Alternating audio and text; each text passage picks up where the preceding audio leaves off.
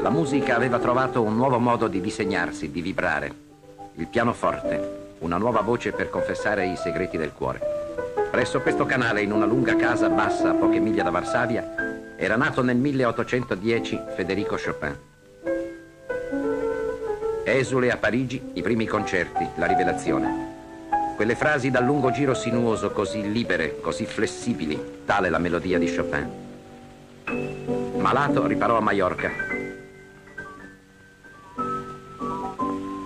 Gli era accanto la scrittrice George Sand. Uno dei periodi più intensamente creativi.